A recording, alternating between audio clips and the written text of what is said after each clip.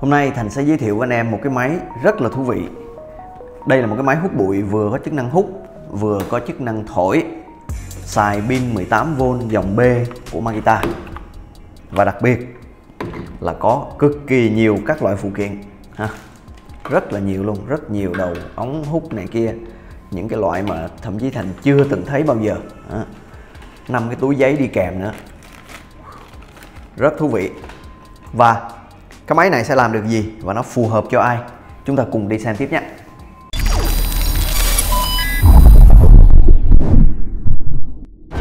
Khi mà anh em mua cái máy này về thì nó đựng trong cái hộp như thế này ha. Và cái hộp này á thì bên trong sẽ không có pin sạc nha. Anh em phải mua riêng pin sạc. Các phụ kiện ở bên trong thành đã sắp ra đây nó gồm có những gì ạ? Thứ nhất là một cái thân máy nè. À, cái ống này nó được sẵn ở đây luôn ha. Ờ, quay để đeo móc vô để đeo hai đầu để mà chúng ta di chuyển cho nó dễ ha. Chúng ta có một cái đầu hút ờ, dạng ờ, chổi nhỏ nhỏ này để chúng ta có thể quét những cái chỗ trên cao, các thứ ờ, các kiểu. Rồi chúng ta có một cái đầu hút khe. Để nó hút trong các cái khe. Một cái đầu có những cái răng lược ở đây để mà hút trên thảm, các thứ, ha, hút thảm. Đây chúng ta có một cái đầu à, đầu này thì nó có những cái um, à, bàn chải nho nhỏ ở đây nè. À, nó có những cái bàn chải. Ở bên đây cũng là một cái bàn chải nhỏ. Năm cái túi giấy. Năm cái túi giấy để đựng bụi. Tí xíu thành sẽ chỉ cho anh em cách để mà xài cái túi giấy này. Nó có một cái khoang để bỏ vô. Thì à, cái túi giấy này nè nó rất tiện ở chỗ là ví dụ như anh em à, hút những cái mà nó nó bụi mịn á.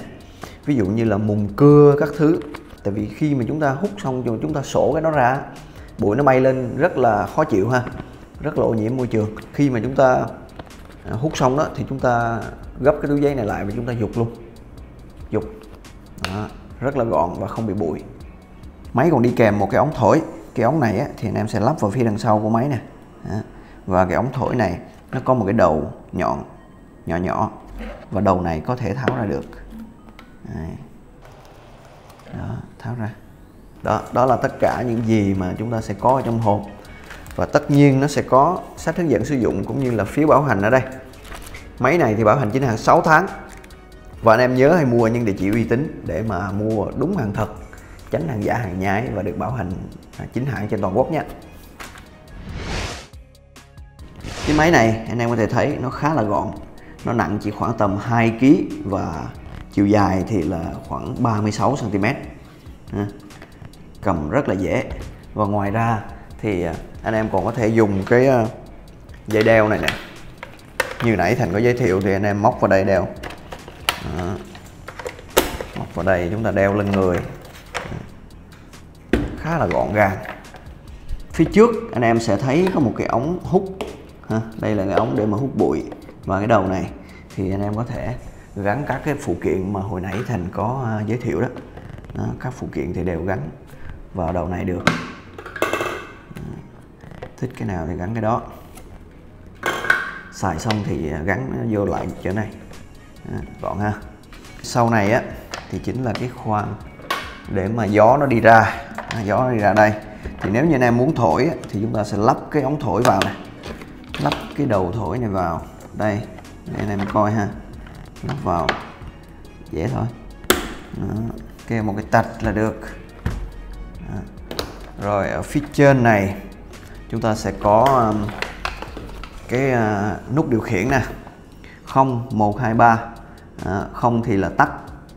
Còn 1 2 3 này thì chính là cấp độ à, à, mạnh nhất mạnh nhì mạnh ba.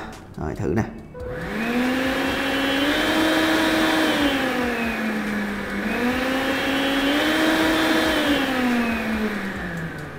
Nếu vậy bấm một cái thì nó sẽ à, qua chế độ mạnh thứ nhì bấm cái nữa là qua chế độ mạnh nhất và bấm cái nữa là qua chế độ yếu ha.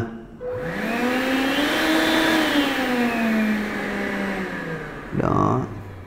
Bên đây anh em sẽ thấy nó chính là cái khoang chứa bụi. À, bật một cái là nó ra. À, đóng lại cũng à, khá là dễ dàng. Và nó có cái ron cao su ở đây nè. Ron cao su ở đây để mà nó kín khí ha à, anh em rút cái à, túi bụi ra bằng cách là anh em kéo cái này ra thôi. Rất là dễ. À, đây là cái túi bụi. Túi này thì là túi này là vỏ à, bằng à, vải này Eva thì phải hay là gọi là bọc biển cũng được ha. Vải bọc biển ha. Và cái này giặt được nha anh em. Mỗi lần mà anh em xài xong anh em à, đổ rác ra ngoài và anh em có thể giặt lại cái túi này phơi khô. Thật là khô. Rồi chúng ta nhét vào sử dụng tiếp. Không có để ướt ha ướt thì nó hư cái động cơ. Nhét vô ở đây. Túi giấy cũng tương tự ha, anh em cũng làm tương tự để anh em nhét vô thôi. Nó rất là êm, rất là khích. Đậy lại là ok. Ừ. Máy này thì có bốn cái chân cao su ở dưới đây. Nên là dù chúng ta để trên mặt bàn thì nó vẫn rất là êm. Nó không có bị à, không có bị kêu ha phía đằng trước của máy anh em để ý ở đây nó có một cái đèn nho nhỏ nhưng bình thường nó sẽ không sáng mà nó chỉ sáng khi mà máy nó bị à, quá tải hoặc là quá nhiệt hoặc là xả điện quá mức. À, thì cái đèn này nó sẽ sáng lên. Và trong những tình huống đó thì máy cũng sẽ tự động tắt luôn nha anh em. Thông số chi tiết của máy Thành sẽ để ở trong cái bảng này. Anh em có thể bấm nút tạm dừng để mà coi chi tiết ha.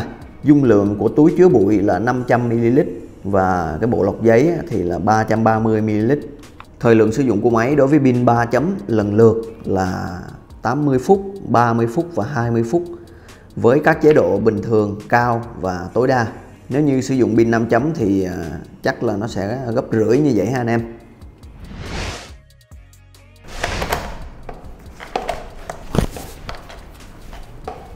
Giờ đi xài thử nha anh em.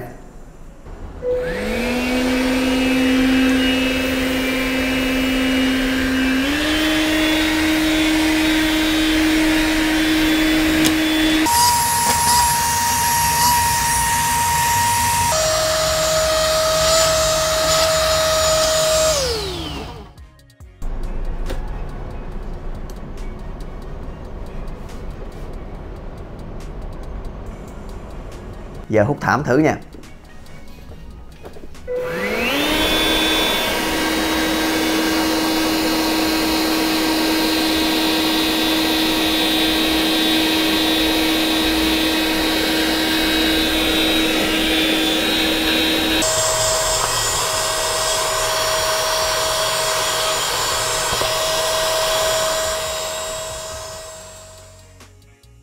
Còn bây giờ sẽ là một số hình ảnh mà sử dụng máy trên xe ô tô nha.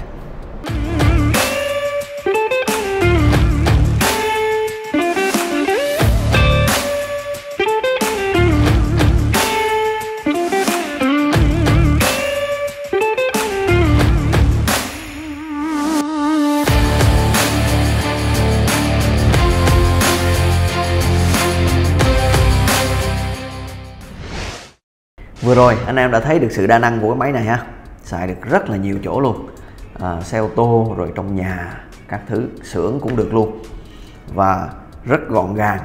Nếu như anh em nào mà đã có những cái cục pin uh, Makita dòng B này rồi đó Thì uh, Thành nghĩ là rất đáng mua con này ha. Rất đáng để sở hữu. Về mức giá thì uh, cái thân máy này á, là 2 triệu ba mấy chục. Chưa tính pin sạc. Cũng khá là ok, không quá mắc nếu như anh em quan tâm tới sản phẩm, muốn được tư vấn thêm hoặc là đặt hàng thì anh em có thể gọi vào hotline của kết nối tiêu dùng để ở đây. Hoặc anh em chat với Zalo của kết nối tiêu dùng bằng cách anh em vô Zalo và search kết nối tiêu dùng, sau đó bấm vào quan tâm rồi chat với kết nối tiêu dùng nhé. Một cách nữa để đặt hàng đó là anh em có thể vô trực tiếp à, web kết nối tiêu dùng.vn hoặc là anh em để lại số điện thoại bên dưới phần nhận xét của video thì kết nối tiêu dùng cũng sẽ gọi lại cho anh em để mà tư vấn nhé. Cảm ơn em đã xem clip này và đừng quên cho một like cũng như là bấm vào nút đăng ký để không bỏ qua bất kỳ clip nào trong tương lai. Còn bây giờ thì xin chào và hẹn gặp lại.